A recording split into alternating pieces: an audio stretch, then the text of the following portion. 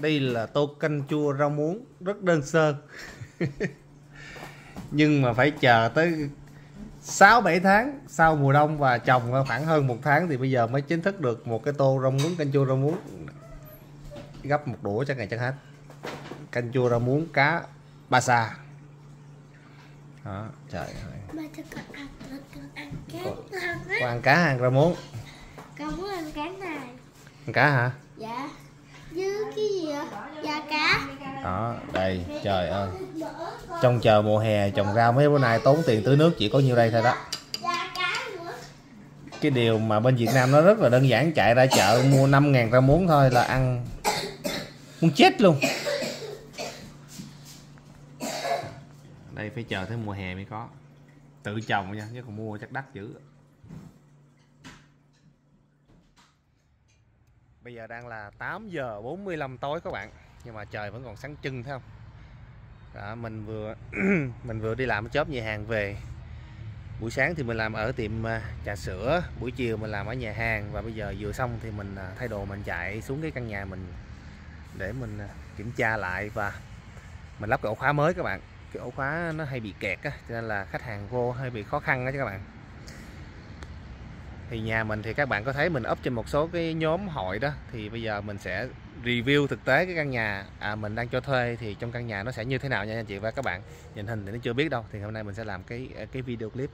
Ngày hôm trước á ngày hôm trước hai vợ chồng mình đã vô và dọn dẹp à, hết một ngày luôn các bạn. À, sửa chữa sửa chữa đồ hư hại rồi update này kia các bạn sửa chữa nói chung là cũng khá tốn kém đó, bước đầu khá tốn kém thì từ từ dần dần nó sẽ ổn định. Thì cái quá trình dọn dẹp, sửa chữa nó rất là mệt đó các bạn, cực lắm á, chứ không phải đơn giản đâu, nghĩa là nghe nói là có nhà thuê mà sướng, không có sướng đâu ha. Dọn dẹp phòng chạy ra giường. Ờ, housekeeping.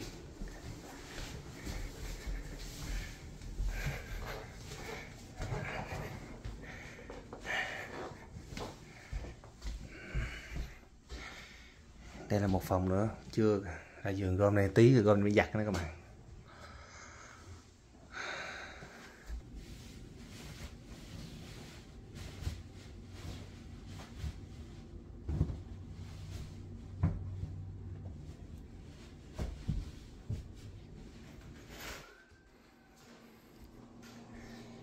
Đây. Sửa lại cái hệ thống cái à, khóa nước chỗ này hôm trước khách ở thì à, bị à, nó bẻ gãy cái này giờ mình phải thay.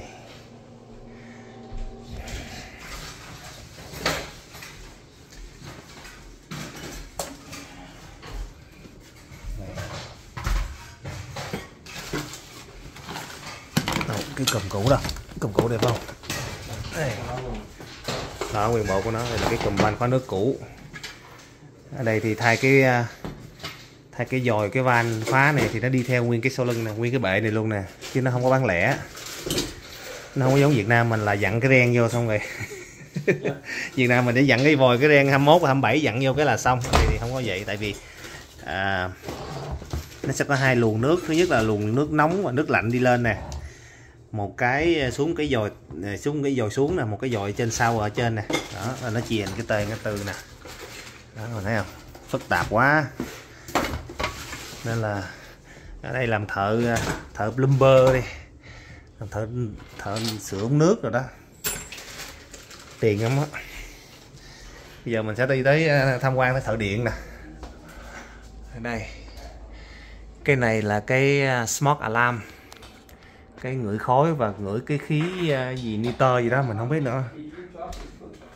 Because I my my Chinese Chinese people? Dạ zero. Comma no no permission no. Comma. Uh, but uh, À, ông đó là thợ điện á, người Trung Quốc các bạn. Thì à, đối với cái nhà the second house là cái nhà mình không có ở đây á nó thẳng là cái nhà mà mình cho thuê mà mình không có ở trong nhà đó. Thì à, city mình cho thuê thì city bắt buộc phải lắp cái hệ thống à, đuổi khói. Đây nè. Đi dài xuống. Đây giờ trong phòng mỗi phòng có một cái các bạn đây, mình lắp thêm cái ở đây nè. Nó sẽ lắp ở đây cái này cái cửa nè. Mà, trời, cái cái máy ngửi khói có chút xíu xíu các bạn, mà chơi cũng như điện nè. Đó còn thấy vĩ đại bác không? Về ba cộng nè.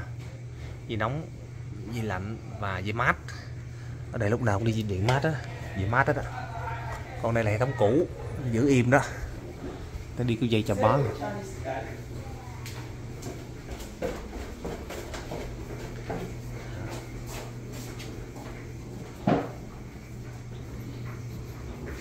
thì là máy giặt.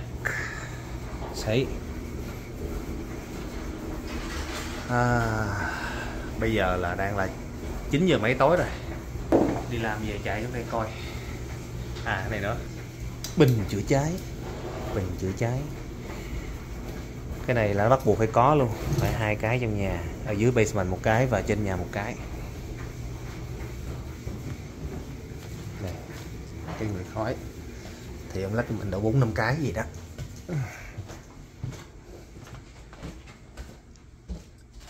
Đây nè các bạn. Đó, đây cái này. Khi mà có khói bốc lên á, thì bắt đầu nó sẽ hú rất là to, nó kêu kinh khủng lắm các bạn, kêu chói tai lắm. Và tất cả những cái kia nó cũng đồng loạt kêu theo để cảnh báo cái warning cho mọi người trong nhà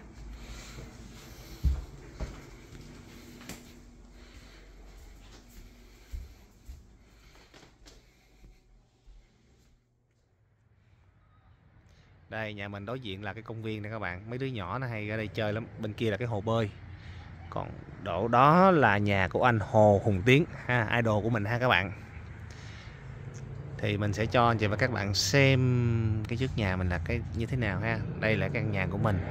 Vô phim thì nó khác nhưng mà sao ở ngoài thì đẹp hơn mà vô phim thì nó mình thấy nó sao sao ha. Ở trước này, hồi trước chỗ này á các bạn cái này hồi trước này mình qua mình nhận nhà, mình nghĩ chỗ này là đóng cỏ các bạn, mình bứng lên, các bạn, mình đòi nhổ hết đó các bạn, mà cuối cùng á, là bây giờ nó lên một cái đám bông đẹp hết, phải biết luôn. Quá đã luôn các bạn. Nhiều màu sắc luôn, mà dễ thương vô cùng luôn. Quá trời nè. Đã ghê luôn á. Rồi bây giờ mình sẽ đi vô nhà cho anh chị và các bạn xem nha cỏ này mình mới cắt hôm tuần trước, mà nay dài nữa rồi, là chuẩn bị đi cắt nữa rồi. Cái này hoa là mình à, mình trồng. Thì đây là nhà mình mình mang đồ nghề vô để mình à, sửa cái ô khóa nè.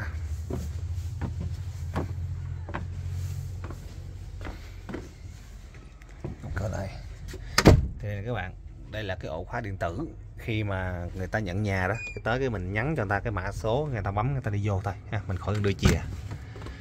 Thì đây. Bước vào bên trong căn nhà chúng ta sẽ thấy mình có gì nào? Đây là cái bộ sofa. Cái này là tường zin của nhà luôn, mình nhận nhà nó có sẵn rồi. Một cái tivi. Và mình thích nhất là một cái view này đây. Đây đây là cái view. Mình ngồi ngay chỗ này, cái ghế này và nhìn ra công viên nè, nguyên cái toàn cảnh công viên luôn. Và cái cửa sổ này rất là bự. Cái nhà nào mà nhìn ra đường mà có view công viên này là quá đẹp luôn. Mình rất là thích luôn. Còn đây là góc mình đề co và trang trí nè, các bạn. Đồng hồ ha, chợ ha. Kế hoạch an toàn phòng cháy chữa cháy nè ha. Và sen đá sen đá. Chậu sen đá mình tự làm luôn cái này, cái ly thủy tinh mình mua đồ cũ và mình tự làm. Nói chung là hai cái nhà này thì hai vợ chồng mình à, cùng à, đi mua đồ, bưng bê, săn tìm rồi mang về các bạn. Thì bây giờ các bạn cùng mình đi một vòng ha. Thì bây giờ là mình đi từ cửa vào và mình đi phòng khách đi vào ha. Trên trang trí chỗ này là khu vực để bàn ăn. Có một cái đèn chiếu xuống nè. Mình đi thẳng tiếp vào đây thì nó sẽ có một cái bếp bếp này cũng gọn gọn thôi, chứ cũng không có bự lắm. Và một cái à, bếp nấu, kệ tủ thì bằng gỗ. Gỗ thật ha, chứ không phải là dán ép đâu nha. Đó. một cái tủ lạnh. Cái tủ lạnh này mình mua nó hơi bự á, hơi lớn nên là nó chiếm ở ngoài chút xíu rồi. Mà kệ. Lò vi ba. Đây, trong đây thì có son nồi rồi à, nào là rổ. Ở đây thì mình có trang bị sẵn cho ta là chén bát cà phê trà muối đường tiêu các kiểu. Cơ bản thôi ha. Cái này thì mình không có trang bị đầy đủ tại vì chưa biết là người ta sắc dân nào sắc tộc nào cái mỗi thứ mỗi người người ta sẽ có một cái cái cái cái cái, cái kiểu nấu ăn riêng đó các bạn. Nên là mình không có thể trang bị mình chỉ trang bị những cái cơ bản thôi. Còn này là sáp thơm quẹt dao đó. thì đi thẳng xuống đây thì mình sẽ có một cái phòng nữa, là cái phòng thứ ba. Hồi sẵn tiện mình quay phòng thứ ba đi ha. Đây là basement sạc cháy thôi, nó không có gì đặc biệt hết á. Bây giờ mình sẽ vô phòng thứ ba. Thứ ba. Đây là cái phòng thứ ba. Phòng này là tương, này là nhỏ nhất trong ba cái phòng. Cái dây quạt nó giật rất ra hả? Trời đó phòng này thì có một cái giường này là giường à, giống như giường mét hai giường này mét hai đúng không? Khoảng khoảng mét hai để cho một người nằm thôi tủ đầu giường tủ quần áo một cái bàn làm việc. Bây giờ hiện tại giờ mình đang chuẩn bị chuẩn bị uh, sắp xếp nên là để đồ ra đây thì giờ mình sẽ xem cùng theo chân mình xem uh, hai cái phòng ngủ một cái phòng để một cái giường king bên trái phòng lớn nhất đây và cái phòng queen bên phải thì sẵn tiện bây giờ mình coi phòng bên trái ha đây. Đó. Đây là cái phòng ngủ đầu tiên đi ha. Thì các bạn thấy có tủ đầu giường có đèn nệm kinh ha. Giường đầy đủ các kiểu. Và đây là cái tủ quần áo tiếng anh à, ở đây ta gọi là closet đó, rất là bự ha. Để được cái mấy cái vali đây luôn thì ban đầu thì à, người ta không mình là nhận nhà thì người ta không có trang bị cái này mình phải lắp thêm hết á. Đây đây là cái phòng để giường kinh các bạn. Cái giường mua, mua ở à, Amazon cũng khá là nặng á. Bây giờ mình sẽ đi ra mình sẽ tham quan cái phòng kế tiếp cái phòng bên ngoài. Đây là cái phòng thứ hai nha các bạn phòng thứ hai thì bước vô mình sẽ thấy một cái bức tranh. Cái hôm bông hoa này, hoa ly thì phải. Rất là đẹp. Tủ quần áo các bạn. Và đây là một cái giường queen. Giường queen ha. Được trang bị nệm gối ra các kiểu ha. Cái này là cứ uh, mỗi lần check check in xong rồi check out là bắt đầu mình sẽ lột hết tất cả mọi thứ đem đi giặt sấy cho thật là thơm tho ha các bạn. Để không có lại mùi mồ hôi hay gì của mình của cái người ở trước á. Và mình sẽ giặt sấy và mình sẽ à, bọc một cái bộ mới cho khách. Đó cho nên là sẽ đảm bảo thơm tho ha. Đó. rồi kế tiếp. Mình sẽ đi tham quan nhà vệ sinh. Đây là nhà vệ sinh các bạn. Nhỏ nhỏ xinh xinh luôn bước vào chúng ta sẽ có một cái à, hồn cầu ở đây. Hai cái kệ này mình tự đóng mình khoan vô luôn. Để để, để à, cái này cũng tiết kiệm được mấy chục đồng á. Còn đây là cái à, vòi xả tắm. Đây mình mới vừa thay xong. Các bạn vừa thấy đó. Cái tiếp là đây là cái chậu đánh răng rửa mặt.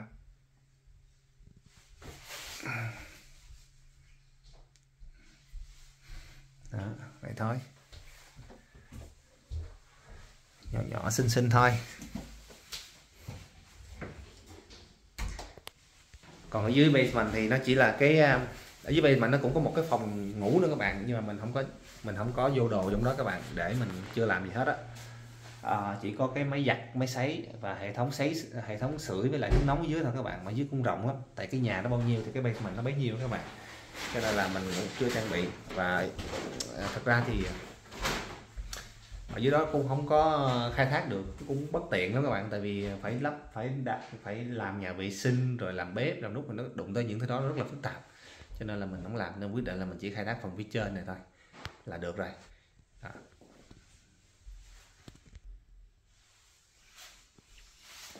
Đấy, các bạn thấy sao? Về một cái căn nhà bé như thế này bé bé xinh xinh như thế này.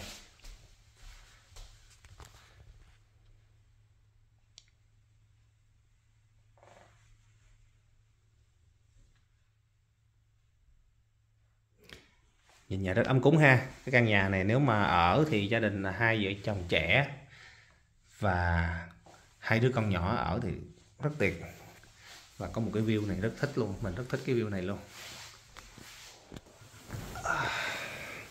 Thằng con trai mình nó nó thích xuống đây lắm. Tại ra đây á, là nó tới cái công viên này nó ngồi nó chơi nè. Nó chạy ra chạy vô.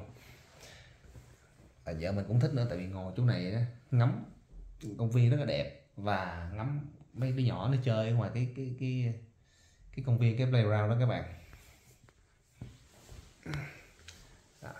thì các anh chị và các bạn nào mà có nhu cầu sang bên Regina du lịch du lịch ha hoặc là tham quan các kiểu hoặc là à, các anh chị nào mà mới sang á, mà cũng chưa tìm được nhà thuê đó thì cứ à, inbox cho Ngọc hoặc có thể là truy cập cái link bên dưới để book trực tiếp qua cái Airbnb á các bạn. Mình có thể nhập cái số tài khoản mình vô, có thể thanh toán trực tiếp trên app đó các bạn, hoặc có thể là gọi trực tiếp cho mình để book offline với Ngọc ha. Đó. Còn giá cả thì à, inbox nha.